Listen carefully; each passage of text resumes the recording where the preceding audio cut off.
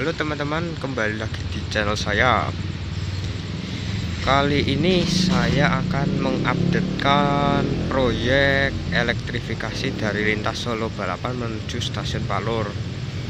Saya mengupdate-nya di malam hari karena ya sempatnya malam hari. Kalau siang males ke sini panas.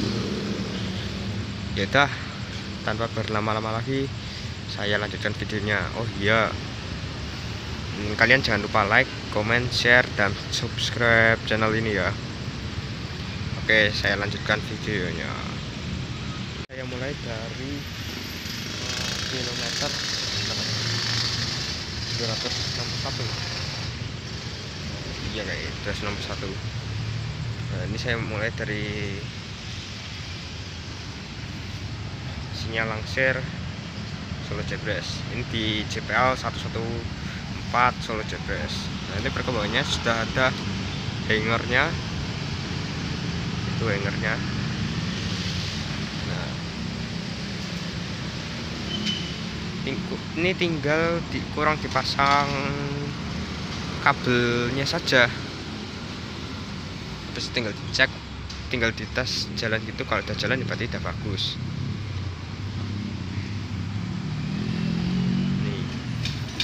di sana nanti. Nah di sana yang banyak yang LA itu. Rencananya buat apa ya tuh namanya? Buat tempat listrik loh tempat ya yes, nanti tak cantum aja nih.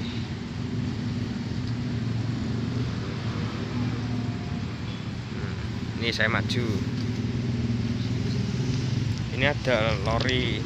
Nah ini lorinya buat ngangkut sarana-sarana seperti semen kabel dan lain-lain.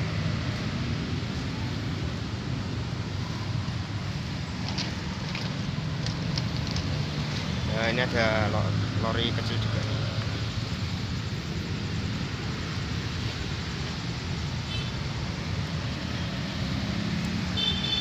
ini saya lanjutkan ke daerah deponya.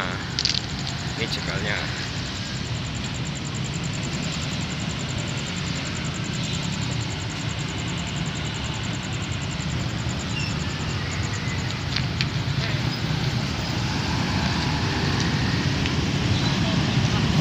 begini situasi di daerah proyek pembangunan depo depo perawatan KRL Solo Jebres ini saya mengintip dari sini saja.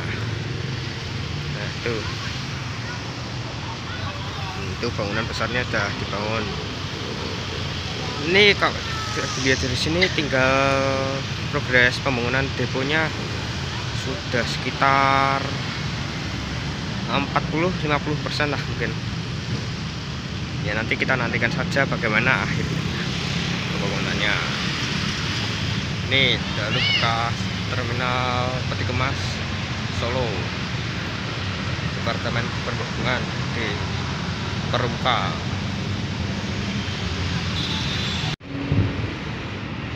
Nah teman-teman ini saya melanjutkan update-nya di pagi harinya. Nah di keesokan harinya sudah ternyata sudah baru saja dipasangin uh, apa ya namanya? Tiang buat penanda buat penanda titik batas atas ketinggian kendaraan. Nah ini kayak gini. Di sana juga ada nah ini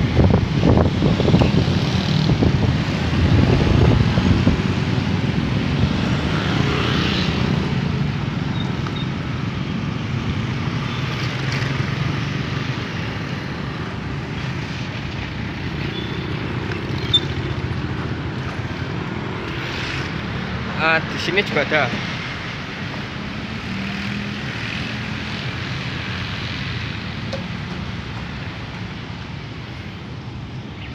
Uh, di sana belum. Di sana belum.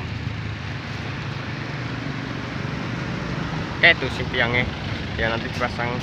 Nah itu. Pasang di sini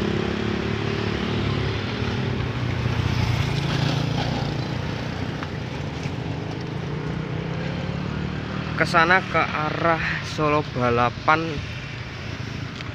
Dan ke sana itu stasiun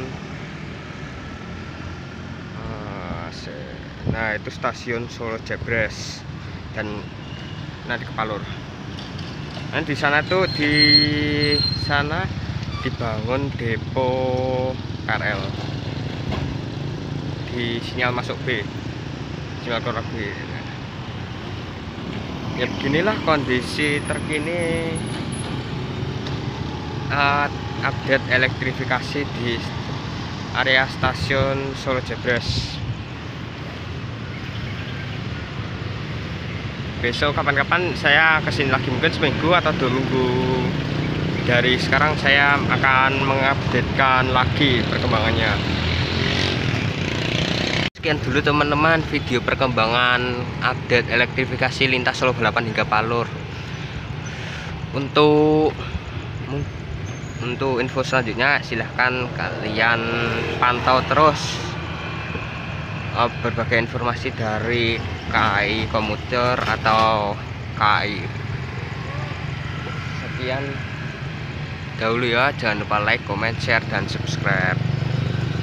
Mantap